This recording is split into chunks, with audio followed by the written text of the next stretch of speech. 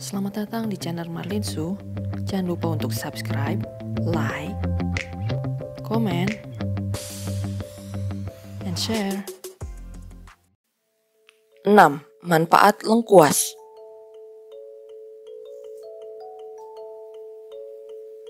Satu, meredakan nyeri sendi.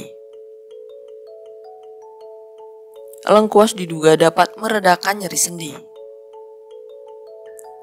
Misalnya pada kasus osteoartritis.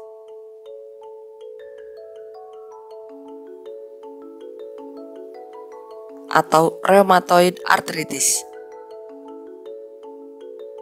Sama halnya dengan jahe dan kunyit. Lengkuas mengandung senyawa kimia anti radang yang dapat membantu meredakan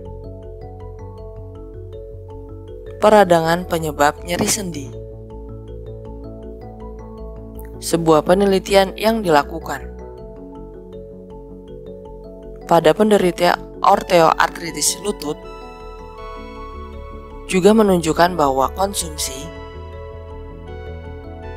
ekstrak jahe dan lengkuas setiap hari dapat meredakan nyeri lutut. Yang muncul saat berdiri. Namun, perlu dilakukan penelitian lebih lanjut untuk mengetahui efek anti nyeri lengkuas sendiri.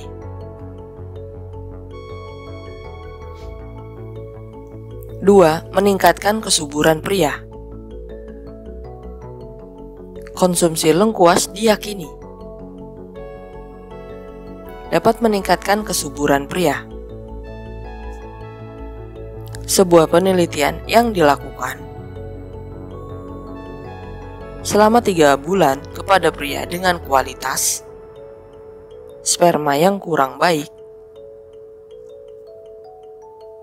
menunjukkan bahwa konsumsi suplemen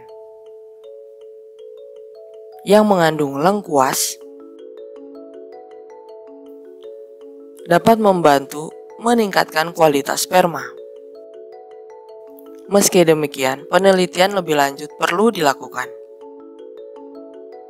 Penelitian ini tidak murni. Menggunakan lengkuas saja. Tapi juga menggunakan bahan lain. Yaitu buah delima.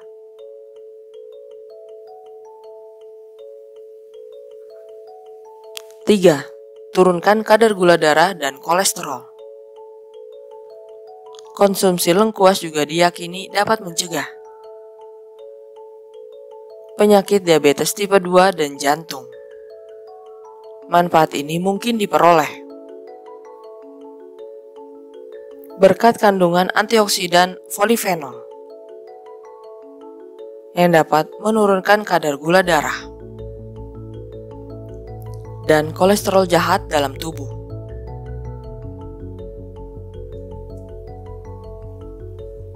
Empat, atasi gangguan pernafasan. Kandungan minyak asiri dalam lengkuas diyakini dapat mengatasi gangguan pernapasan yang dialami anak seperti rinitis, bronkitis, batuk rejan, dan infeksi tenggorokan.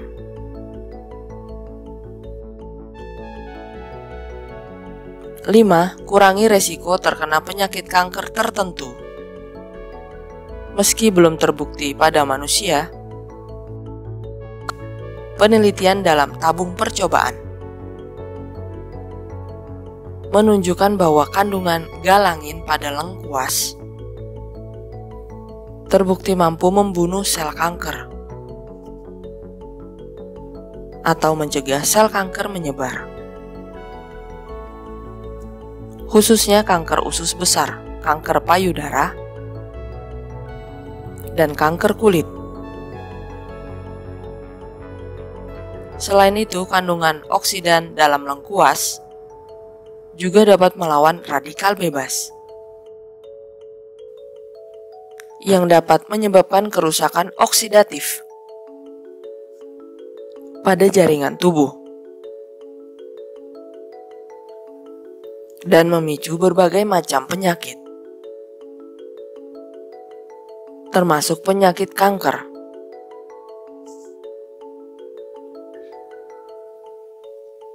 6. Membunuh dan menghambat perkembangan virus dan bakteri. Penelitian menunjukkan bahwa